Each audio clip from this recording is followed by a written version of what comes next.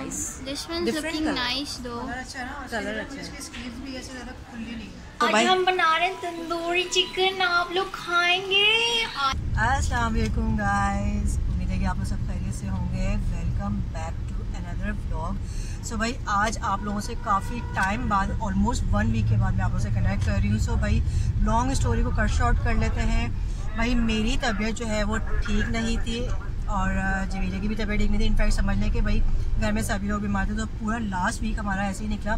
सभी बीमार थे और मेरी भी तबीयत कुछ ऐसी डाउन सी थी ऑफ़िस से आके बिल्कुल भी हिम्मत नहीं हो रही थी, इसलिए मैंने जो है आप लोगों के साथ कनेक्ट नहीं किया। सो भाई, आज है सैटरडे सही है? और इस वक्त हम लोग निकले हुए हैं बाहर। हम लोग आज जा रहे हैं किसी डिफरेंट जगह पे। सो हमने सोचा, चलें आप लोगों को कनेक्ट करते हैं और आप लोगों के साथ लेके चलते हैं। सो आज हमारा बेसिकली प्लान बन रहा है, हम लोग जा रहे हैं जवेरी हम लोग कौन सी जगह जा रहे हैं? हाँ स्क्वायर वन मॉल कुछ जवेरी ने बताया कि भाई नया मॉल बना है तो वहाँ चलते हैं। और वहाँ पे आज बेसिकली खाड़ी का नया शो ओपन हुआ है तो उसकी आज लॉन्च भी है तो जवेरी ने कहा why not be go there and check out और बस वहाँ चल के देखते हैं उनका कैसा स्टोर बना है क्या उनके पास आज कैसा स्टॉक है क्या क्या प्रोडक्ट्स हैं कुछ पसंद आता है या नहीं पसंद आता। सो so, आपको भी साथ लेके चलेंगे और आपको भी साथ दिखाएँगे। सही सो गाइस स्टे ट्यून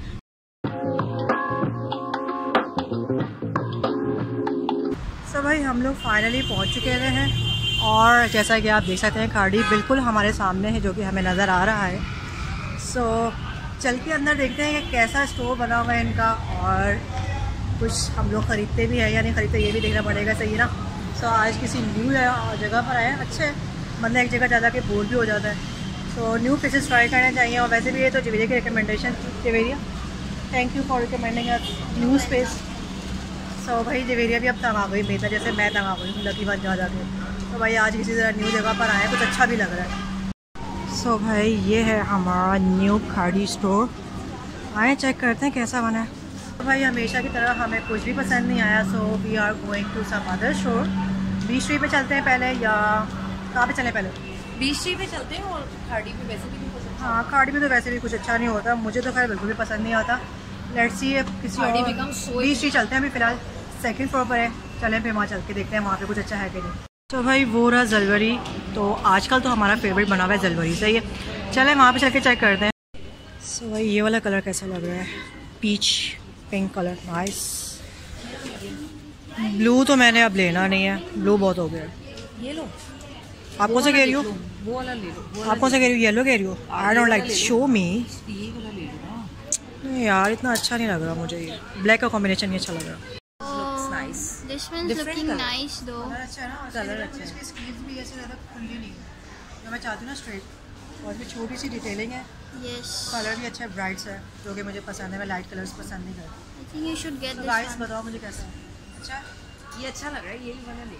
भाई हम फाइनली सक्सेसफुल हो गए और बाजी और जवेरी को बीट करके मैंने आज पहले ही पता कर लिया सही है। मैंने फटाफट पसंद करके ले भी ली और ये लड़कियाँ जो है ना अभी तक सोच ही रही हैं सही है।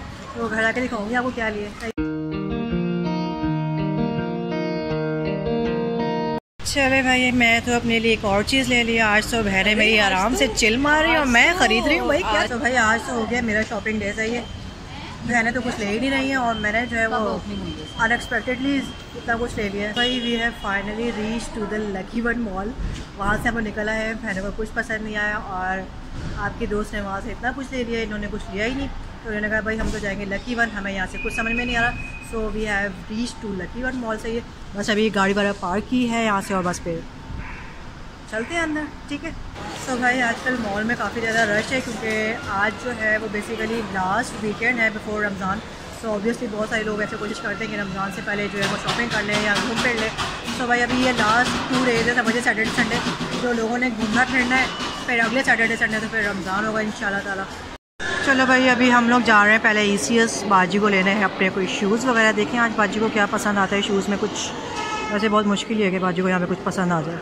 भाई बाजी को तो वहाँ से कुछ नहीं पसंद आया तो हम लोग निकल आए बाजी क्या बात है यार आज आपने कुछ लेना है कि नहीं लेना? वही मैं भी सोच रही हूँ कि आज कोई चीज़ आज मुझे लग रहा है कि बाजी रिकॉर्ड टाइम करने वाली कुछ ना लेके। नहीं ऐसा नहीं हो सकता। नहीं हो सकता। चले चेक करते हैं। भाई एक तो इन लड़कियों को कुछ समझ में नहीं आ रहा मैं तो थक गई हूँ। जाती है बारह जाती है जाती है बारह जाती है, समझ में नहीं आ रहा, जाती है, पसंद करके आ जाती है, अब सोच रही है कि लेके ना ले।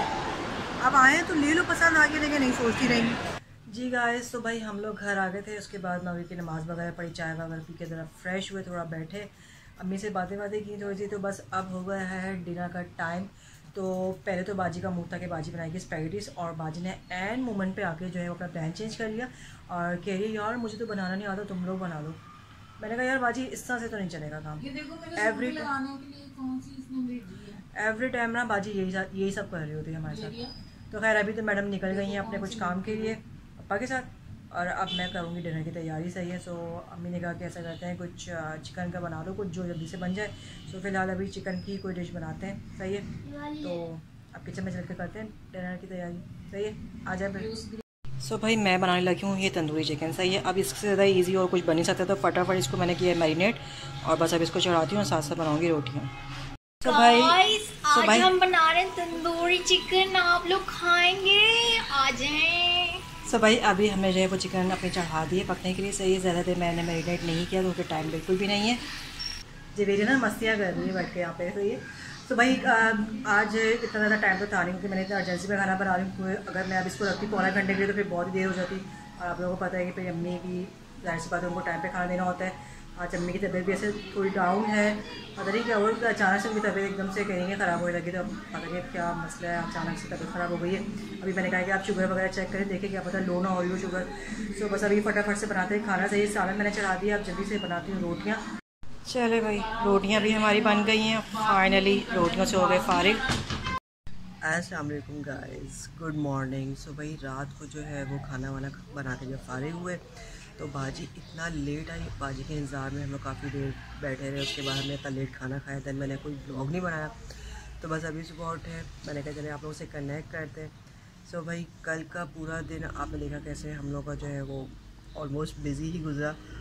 जो कल मैंने शॉपिंग की, वो तो बिल्कुल ही अनएक्सपेक्टेड कर ली क्योंकि मेरा कोई प्लान नहीं था शॉपिंग करने का। यूजुअली बाजी और जवीरे का ही प्लान होता है चीज़ें लेने का। लेकिन कल इतफाक़ से इन लोगों ने कुछ लिया ही नहीं और, समझ लें कल तो मेरा ही शॉपिंग डे हो गया पूरा।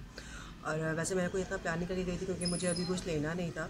मैंने सोचा हुआ था कि अभी मैं नहीं लूँगी मैं कुछ दिन बाद लूँगी, यानी कि थोड़ा सा अभी कुछ न्यू मार्केट में आ जाए दें मैं शूज़ भी काफ़ी दिनों से देख रही थी कि मुझे शूज़ ले रहे थे तो इतफाक़ से हम लोग जो है वो, बस ऐसी गुजर रहे थे तो हमने कहा, चलो चेक कर लेते हैं। हालाँकि जवीले को हमने बोला कि तुम्हें कोई चीज़ देखनी है तो देख लो।